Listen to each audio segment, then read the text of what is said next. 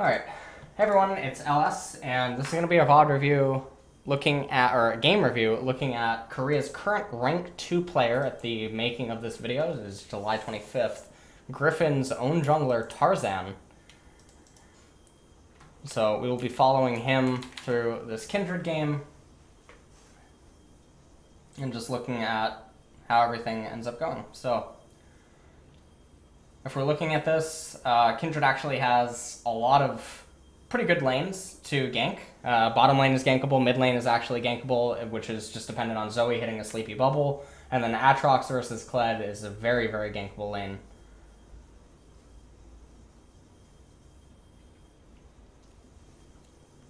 I will say that I do think that the skin is quite ugly. You notice that uh, he marks Nidalee right away. This is pretty common for Kindred players to do. Always just start the game by marking the enemy jungler. Comes over, places a ward on the enemy Wraith camp, and it looks like Kled's actually going to walk right into this. Going to take some damage.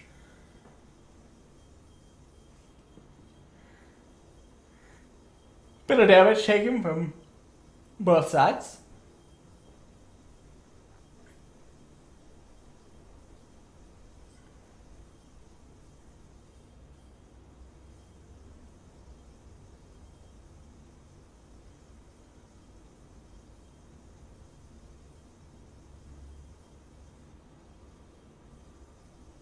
Alright, so, I'm going to be starting red. And it looks like actually this is going to be contested. Nidalee actually gets flash taunted on by Shen, so Shen was actually still sticking around. So, as, as soon as Nidalee ends up dying, this now becomes really ugly uh, for Nidalee. She's probably just going to immediately go into her blue, and now we're going to have to see what Tarzan ends up doing. This is really interesting that he's pathing up into top lane. And the reason that I say this is because look at what happened in top lane. So Kled actually got some of the XP. You can see the Aatrox is missing a little bit of it. If the incoming minion wave, depending on how the RNG goes, if you can chunk Kled a lot, Aatrox will just have the easiest time in the world inside of this lane. And you can already see that Aatrox is actually down a little bit in terms of uh, life, and he has a Doran's Blade, and he had a red potion, but he already popped the potion. So if Kindred doesn't come up to top lane, the lane can be a little bit awkward for Aatrox, especially at early levels, where this is a champion that wants to dominate laning phase. Uh, Tarzan already acknowledges that he already has a lead. Um, Nidalee is already behind in tempo, down in pace, and you can see that Shen is actually pathing back down to the bottom half of the map, directly across mid lane. They have a ward on the right-hand side, so it's unlikely that, even though it's unlikely that Nidalee is going to go directly to the Scuttle Crab, um, because she can just actually do her blue safely, get the blue, clear her camps, and then go to the Scuttle Crab. Junglers that can't actually do a camp like Blue Buff or like Wolves or something to get the level 2 right away, they would actually be forced to go down to the Scuttle Crab because Scuttle Crab does give you level 2 right away. So Tarzan comes up into top lane to put pressure onto the Kled and ends up chunking actually quite a lot of the damage. And you can see that he's taking damage as well, but he's just doing so much to Kled. And now Kled is going to be behind in this lane right now because Aatrox is going to be able to out-sustain him as soon as he hits level 2 and he gets that E life sustain passive.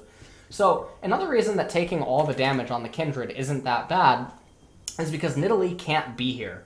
So if you're Nidalee right now, you probably take the blue buff, you go to the Scuttle Crab. Oh, let me turn off vision.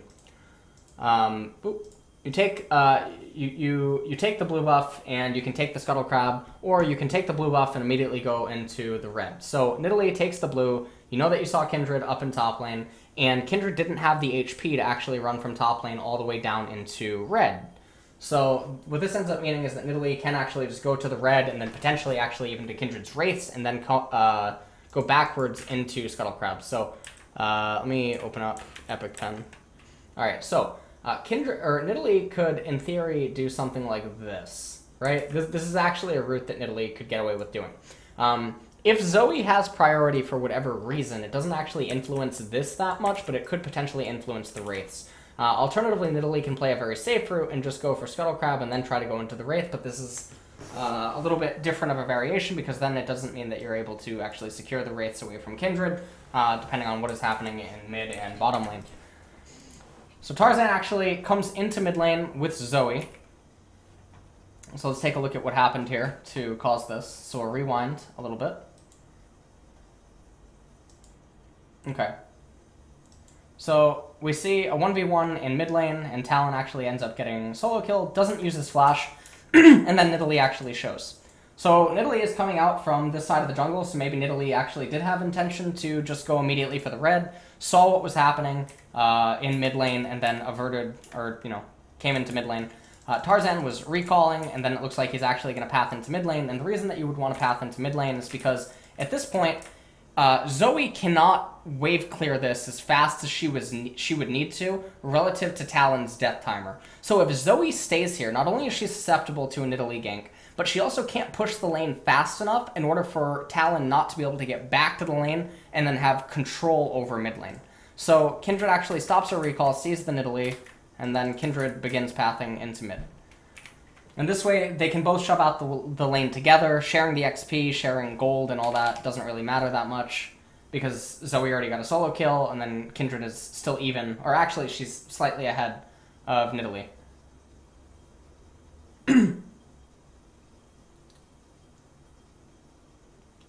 Now that Tarzan is level 3, begins pathing into the red side jungle. You can see that it looks like he's going to check on his red buff first and foremost, sees that it's still up, starts it, places Wolf down, and it looks like he's just gonna maybe smite it. I, he doesn't actually have to smite it, but he is just uh, probably playing it a little bit safe.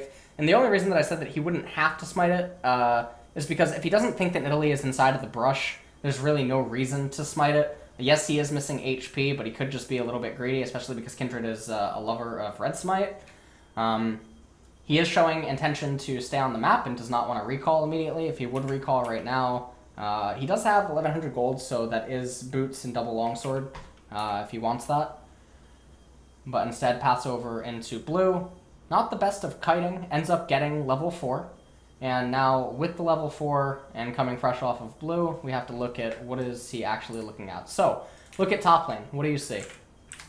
Well, you can see uh, uh, melee minion persisting, two spellcasters, three spellcasters persisting, so we're going to have six spellcasters plus one melee persisting uh, up in top lane. So with this, the lane is going to come into Aatrox. Because of this, and because of the fact that Kled does not have teleport, if Kled gets pressure ganked right now, the lane ends. So, if Kindred can come top and Nidalee can't be here for whatever reason, okay? If you can somehow just place a ward here, I actually don't know if Tarzan has wards. If you can, if you can come up here, you don't have to kill Kled. You don't have to blow a summoner. You don't have to take any XP or tax any of the minions to, to do this play. You simply come up, you shove Kled out of the lane, and then all of these minions eat all of Aatrox's minions, and then the lane goes into Aatrox, and then Aatrox freezes. And if this ends up happening, um, you potentially zone Kled out of two full waves of farm, which is essentially a kill, just in terms of gold. And then the XP, however much he ends up losing out on. So a pressure gank is really, really strong right uh, at this point in time. Seems like Kindred is looking for it. places a ward in the tri-brush, and it looks like that's the go button. Aatrox was able to successfully bait this out, and I think Kled... No, okay, manages to get away. Aatrox doesn't have flash, so it's really, really hard to follow it up. Now together, because Aatrox doesn't have teleport either, looks like Tarzan just wants to help shove in the wave, and you can see that he's not actually taking any of the gold, because when you uh, learn to play jungle properly, um, you would understand that laners are more important than the jungler. So softens it up for Aatrox, helps him shove in the wave, he gets the recall. This is not something I would advise in lower MMR, by the way. Take take all the fuck take all the CS that you can in lower MMR. Um, unless it, unless you already have your items. Like so, for instance, what I would say here is like you can see that Kindred has 200 excess gold.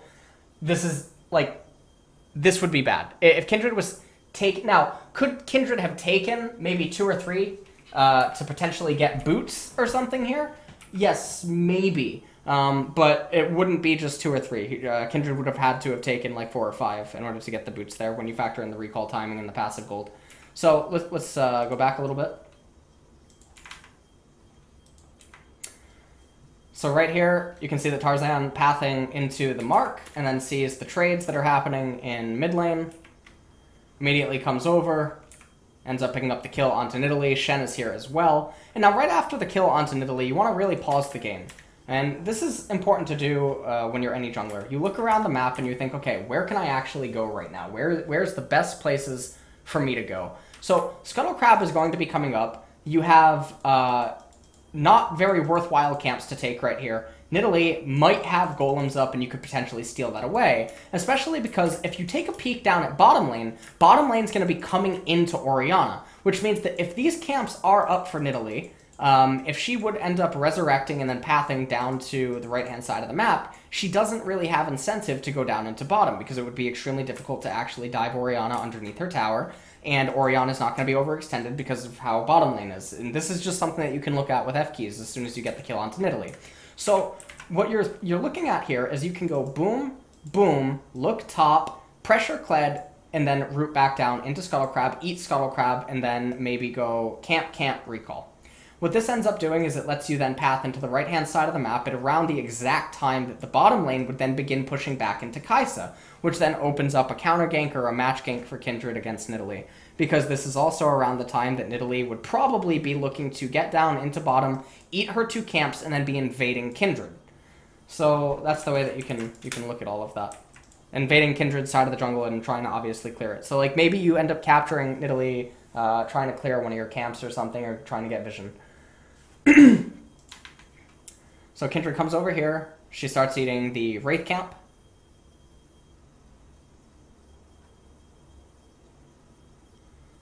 And sees that Talon is underneath the turret, and there's more fights happening down in mid lane, so this is a little bit of a fiesta. Not able to quite pick up the kill there onto Rakan, and because of uh, what just happened in mid lane that actually skews Kindred's path, you can see that Nidalee actually pathed right down into mid, so this probably means that Nidalee is now actually going to be able to path up into our golems, or we're going to see a contest over... Oh, we're going to see Scuttle Crab be contested. Talon has first priority, and Tarzan actually ends up dying I don't know why he wasn't respecting. You can see Talon on the map, and you can see that he goes into Fog of War, and then you can see him pathing right here, and he just walks through it anyway, completely neglecting that Talon has everything available. So, very, very peculiar.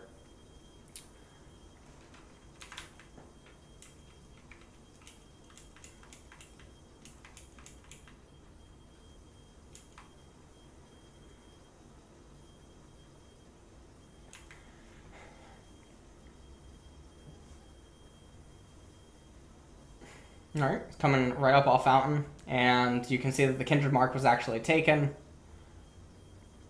And so now, with, with where Aatrox is right now, and the fact that you know that Nidalee is probably going to path into her red and get her red buff, you just want to make sure that Aatrox is actually safe to shove out the wave and get his recall, because you can see at the top left that Aatrox's HP is still a little bit low. Coming in, he's looking for pink wards, still path to the left-hand side of the map, Come over, you clear the pink ward that is in left side river.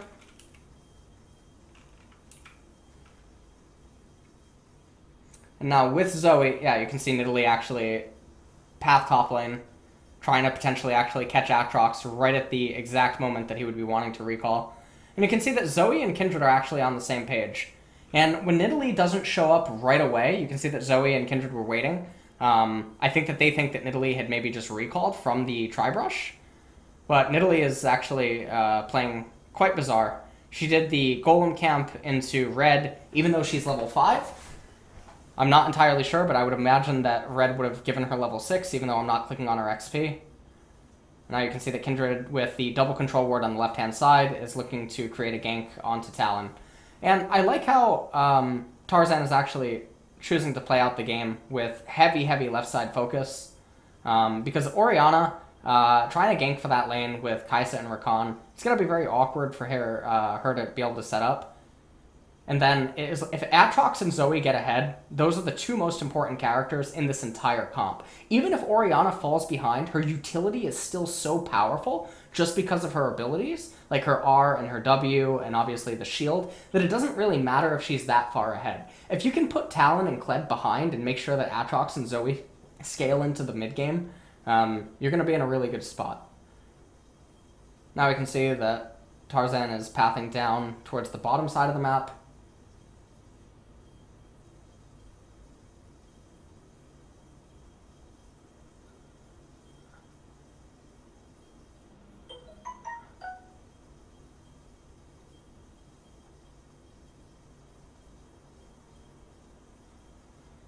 Little bit of a team fight unfolding here. Gets hit by a Nidalee Spear, but the Shen ult comes in. Kled, I don't think is going to be able to get a remount. Aatrox ends up picking up the kill.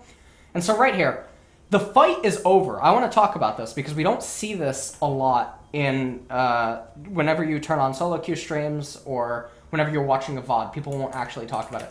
When kills end, you want to just put your eyes on the minimap and ask yourself, okay, you know, what are their death timers? What can I do during this? And are we going to lose out anything if, if I take a temporary loss in tempo? So, Kindred could recall, and Kindred could get items and then come back on the map and do something like this. But if Kindred doesn't have anywhere to be, right? Kindred doesn't have an obligation to path top lane immediately. Kindred doesn't need to get Zoe the blue buff immediately. Kindred can't reliably go over to her camp immediately off of a recall. These aren't things that Kindred has a say over. So when the kills happen down in bottom lane, Kindred can actually just look to do golems, and then depending on what the state of mid lane is, and then exactly what gold Kindred has, Kindred can maybe even actually go and do Wraiths and then do recall. What this will end up doing is it'll mean that she'll actually reset and path into the blue at around the same exact time that Aatrox would be pathing back up to the top side of the map. And then because of all the chaos that just unfolded back into bottom lane, it means that Kindred can be on the left-hand side right around the time that the push back into Orianna and Kindred's bottom lane would be starting. So that if Kindred decides that she wants to path back into bottom, there's, a, there's more than enough time that's still available for that kind of rooting.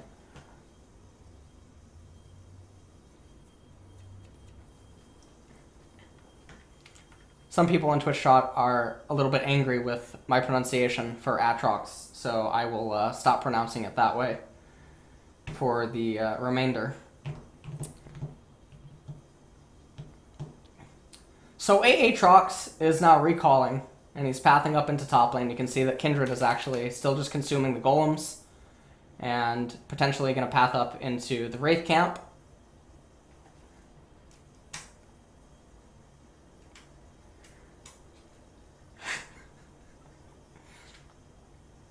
don't actually know why. Uh, like, so right here, you can see that Kindred actually has jungle item, and you can see that there's no obligation to get Zoe the blue buff immediately. So I think this is actually suboptimal pathing. Um, we're not just going to sit here and say that everything this person does is correct. Could have easily have just recalled and then pathed into the blue. And if you end up doing that, Aatrox would have been able to go up to top lane, cause the top lane to crash, and then eventually come back into him at around the exact time that you would hand off the blue to Zoe. And then the wave can be manipulated by Aatrox uh, at an exact time that Kindred would be able to consume the Gromp or maybe even the Wolves and just be in close proximity. Because again, it's unrealistic that you can actually go over to the mark, and there's no Scuttle Crab to actually contest.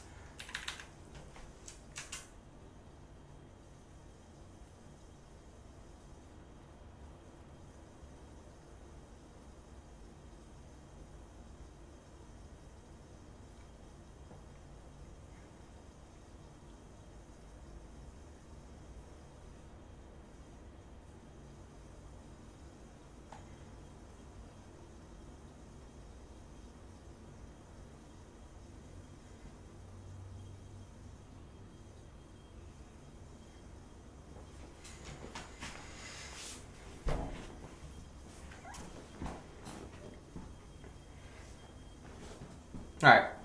So now the mark actually ends up spawning on the Gromp, and this is at a pretty good time where you can see that Zoe's going to have priority in mid, and Talon was actually really low. Zoe also places a ward on this and sees that there's no Wraith camp, and then when you look at the state of top lane right now, there's basically one of two things that can happen. Either Nidalee appears within the next couple of seconds, or um, there's going to be a match gank or a counter gank that can happen in bottom, or using Zoe's priority, Nidalee can, or Kindred can actually invade Nidalee's right-hand side jungle, look for the Gromp, and look for wolves. These are basically all the things that can end up happening. Instead, he actually comes over to an Ocean Drake, and it's 11 minutes in the game. This isn't probably something that the uh, the enemy team would, you know, think about, oh, well, I should probably go and check. Okay, well, there's the counter and match gank. So this is the original thing that I, I talked about should happen. Uh, I don't know why Tarzan started on the Ocean Drake because it, it's objectively just a terrible dragon, uh, and it doesn't really have any usage early on. Um, had he actually ran down to bottom uh, right away and not started the Ocean Drake, this whole fiasco probably could have been avoided.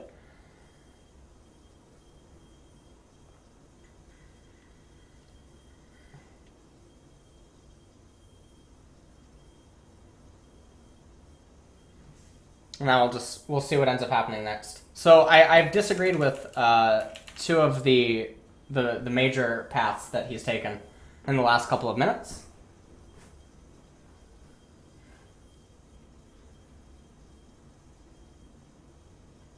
Someone from Twitch chat asked a pretty okay question. Um, Ocean Drake is good pre 15 minutes. The problem is, is that the game is so accelerated due to how many kills are taking place that lane phase is very close to being over.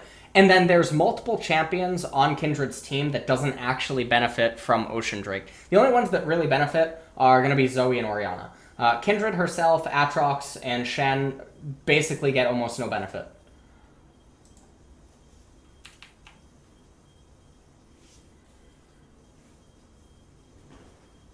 Okay. So Aatrox is going back up into top lane, and the lane is going to eventually come back into him, unless he chooses not to have a freeze happen. Um, because Nidalee ends up getting spotted down in bottom, he should actually be fine to still skirmish and duel with Kled. And now Kindred is going to be able to get the Scuttle Crab with Shen. And you can see that there's still the ward on the Wraith camp of Nidalee, so they're going to be alerted as soon as Nidalee appears there. And Nidalee is actually still inside of Kindred's jungle, so this is really interesting. And you can see that it doesn't look like Tarzan actually knows what he wants to do. Just waiting a little bit, ends up finding a Rakan, uh, ends up getting the flash out of him, and now they're going to be able to push this on into bottom lane. See, these, these are the really weird things uh, these, these are the solo queue jungle uh, jungle things that are really bizarre. Is like right here. Okay, let's just take a look. So bottom lane is actually going to push into Kai'Sa. So bottom lane will push into Kai'Sa, and this is fine because Orianna is already hitting the minions. All right. Tarzan makes a decision to hide inside of the dragon pit. And the only reason that I can think that this is is because maybe uh, you know she does. Well, obviously he expects that Rakan maybe comes to check it because Rakan is absent from bottom lane. Rakan has no reason to be mid, and this is the only logical pathing. Comes over here, Wolf hits him. He goes over the wall, and then Rakan flashes away. But Rakan kited back in. And during this whole time, Shen and Orianna are able to pick up a kill on Kai'Sa. So just watch how this happens. Okay? Really, really good capitalization there. And then because of this, Kindred's able to consistent, you know, push on and just pincer Rakan underneath the turret.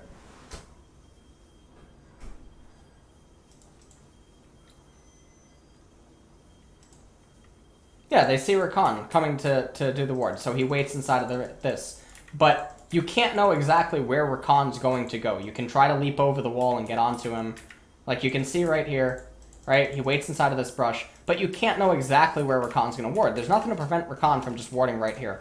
But it's it's a neutral slash positive. There's nothing really that you lose too big here. So like if Rakan, uh, why isn't Epic Pen working? If Rakan comes here and just places a ward here and then goes back over, okay, you don't really gain anything.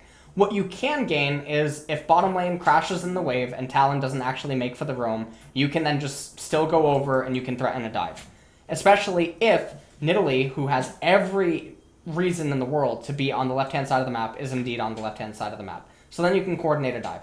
If uh, Rakan actually comes further in to try to get a ward on the Dragon Pit, you can potentially just kill Rakan yourself.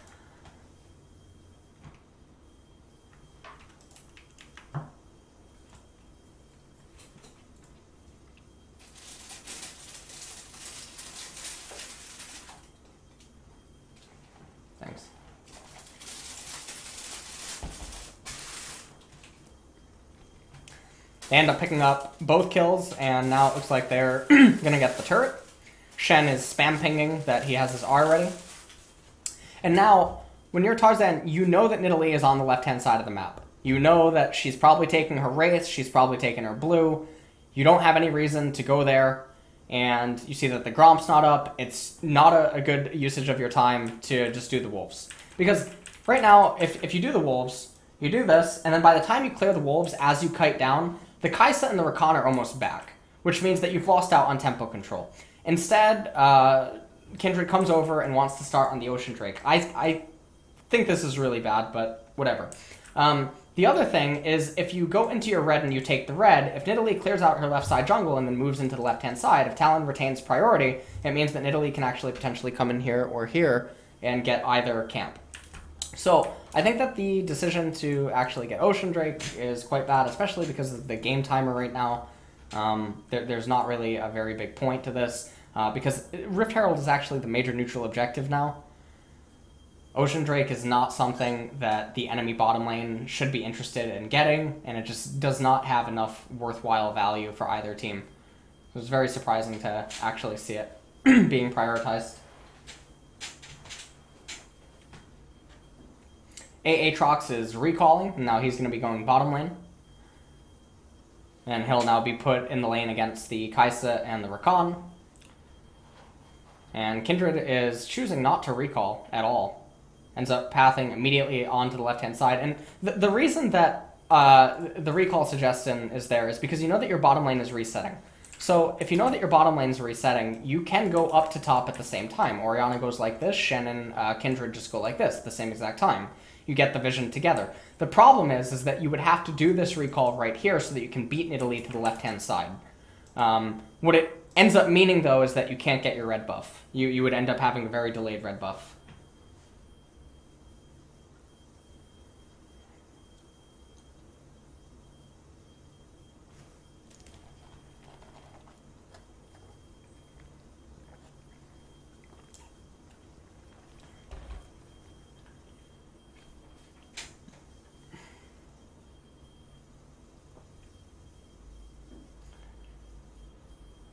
Okay. Oh, camera's moving around like crazy. So now Rift Herald should actually be the major priority, but first you definitely want to get Zoe her blue buff. You spot Nidalee in top, and you can see that immediately the pathing is actually changed. Comes up here, sweeps the brush, and now what they should be looking to do is set up, you know, some sort of a bait. Ends up coming over here. Okay, sees multiple people with that sweeping lens. Places a pink ward. Sees Nidalee. Nidalee is drunk. That was one of the worst spears I've seen in a really long time. Aatrox has now successfully rotated mid, so you know this is definitely not Max Wildo. Nice. So basically, right now when you're Kindred, everything that you want to be thinking about is just about the left-hand side. If you're Aatrox, and the way that you help out the team is you come here, you shove wave, you then you pro, uh, you move mid. So let's take a look at what's happening here. So they end up starting the Rift Herald. Aatrox is moving back into bottom, but then Kled ults mid. And at this point, I mean, Aatrox actually goes in, and he casts his ultimate, and it looks like everyone wants to take a fight. Shen's ultimate comes out, and this actually made Kindred and Co. stop taking the Rift Herald, and it's a very, very chaotic fight that ends up unfolding in mid lane. So the original intention to take the Rift Herald is very, very, very good. They see that Kled reacted to the ultimate. Aatrox was already nearby, and they were able to turn the fight with Shen's ultimate, and then Orianna and Kindred were both able to get there in time. Very, very clean fight, and now they see that Talon is down below. And if you're Kindred right now, maybe you actually check for your mark at this point. You can push on for tier 2 turret in mid lane, and, but then I think that you actually break to the right and check for the mark and the blue buff. Um, Maybe because of the game timer, you try to capture the Herald, but I don't think so. I think going for Wolves and then going for the blue buff is ideal.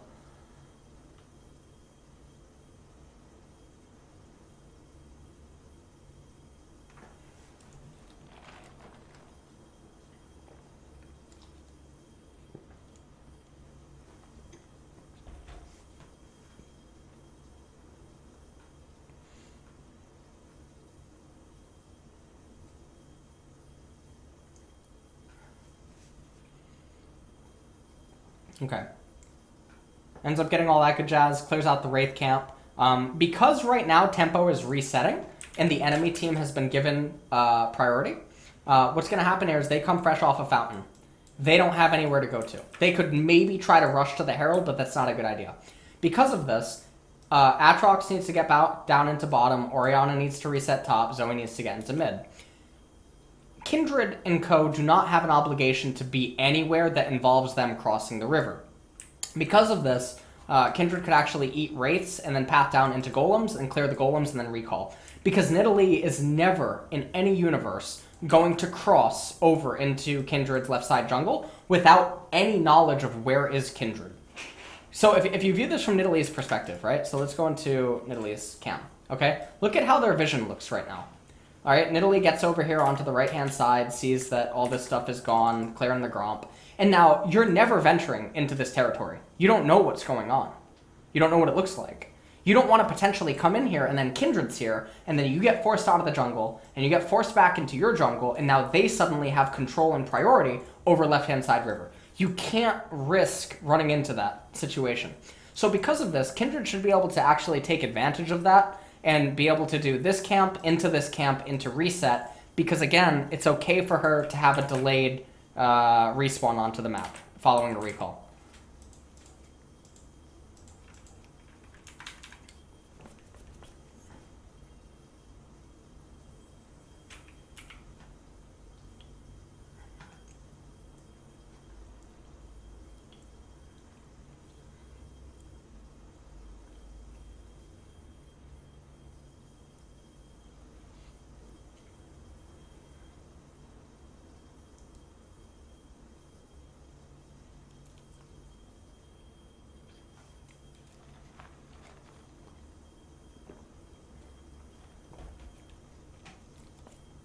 Sees the fight happening down in bottom, quickly comes over, kills and now you're to end up recalling, pathing to the left-hand side of the map, not to actually find a jungle, and I think it's actually too late to start the Herald without your teammates being in position. So, recalls, and it looks like the purchase, he's deciding, ends up picking up Phantom Dancer, and a Longsword and Null Magic Mantle, and then sells off the refillable for Control Wards.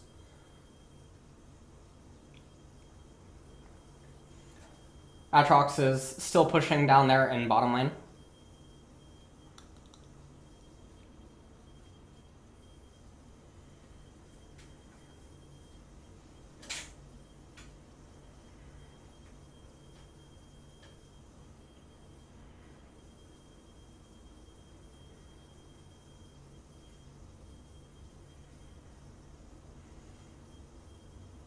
They're actually able to get the Herald. And let, us look at how this Herald is allowed to be captured.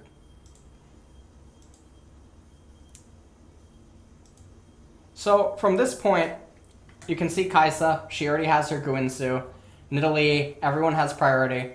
If Kai'Sa, Nidalee, and Shen kill this, and then they back up, and they just go over to the Herald immediately, and then Kai'Sa and Shen path into mid lane, and Talon takes the wave up into, or not Talon, uh, Kled takes the wave up in top, then Herald is denied. But if you don't do this, this situation that just unfolded, where they, they get an objective, but then they back up and recall and they can't get to the next major objective, if you're in Twitch chat and you're watching this live, you know this situation all too well. You've seen it in all of your silver, gold, and platinum games where you lose mid inhibitor and then you get Baron. Or you get mid inhibitor and then you lose Baron. So this is a very similar situation where the same thing is basically happening just on a lesser scale.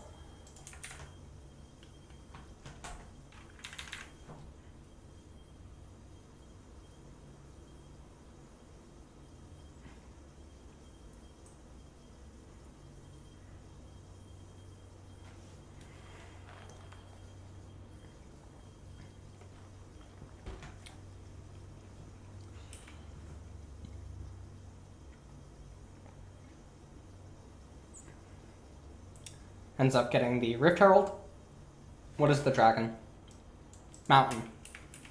Probably should not look to use the Rift Herald until they get the mountain, and now you can see that Tarzan is actually just pathing towards his red. Should be able to get the red and then go into the right-hand side river, look to get the Scuttle Crab, and then set up to get the Mountain Drake. Orianna and Shen should start pathing to the Mountain Drake. And, okay, looks like he's doing that.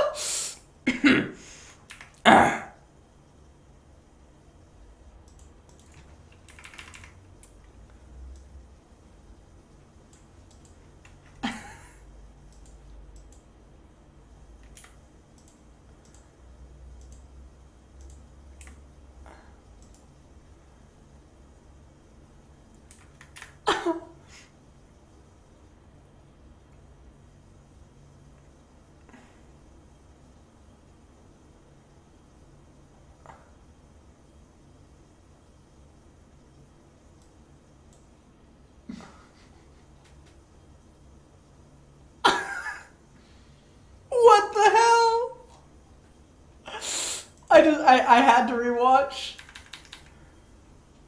Oh, 0.25. Oh man. After that kill onto Nidalee, I think you go top, you cast Herald. Looks like they're even actually going to get a pick off onto her. Ah, you know what? No. Top top lane's too bad because there's no minions. you don't. You, he, uh, definitely did not need to cast Herald. This is actually really bad. Th this Herald cast is truly very bad. Because the opponents can't stop Baron anyway, so you can just do it. They don't have a smite, and there's no universe that they can come in.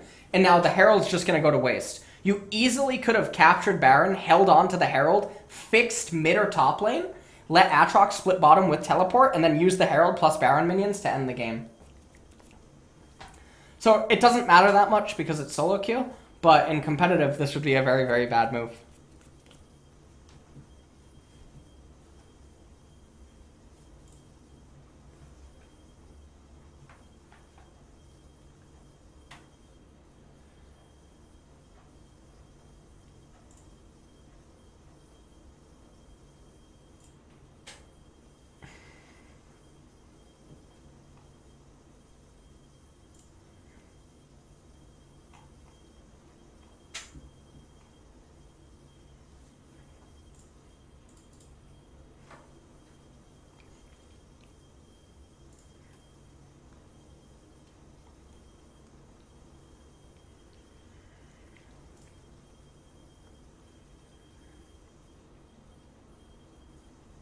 Now they're coming over, they're getting the Mountain Drake.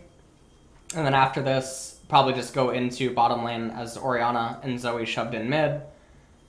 Join up with the teammates and then end the game. That was a really weird ward. They're clearing out vision. Could also just go mid. Uh, looks like there's a pretty decent wave. They go onto the right-hand side. Maybe give the blue to Ori. No, not today. Not today.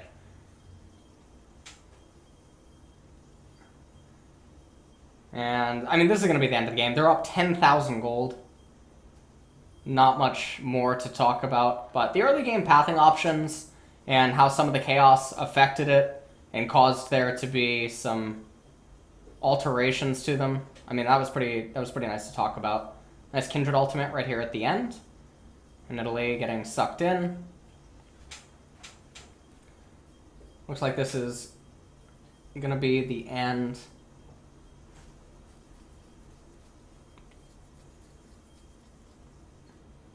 Alright, and this is the final push onto the Nexus. I yeah, this is it.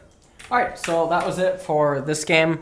Um, there was definitely a lot more chaos than I liked in this. Um, the next time that I, I review Tarzan, I hope that uh, the game state is not as chaotic, um, and I think that we'll, we'll get to talk a lot more about different types of pathing. Um, because this game, we got to talk about a lot of pathing, but then fights were unfolding that affected them uh, and made certain paths have to stop dead in their tracks. There was also some weird paths that he did uh, in the mid game that I think were suboptimal. Um, obviously, the one with the Ocean Drake, uh, because uh, I just don't understand why there was a priority on it at that point. But nonetheless, I, I still think it was a pretty pretty okay game.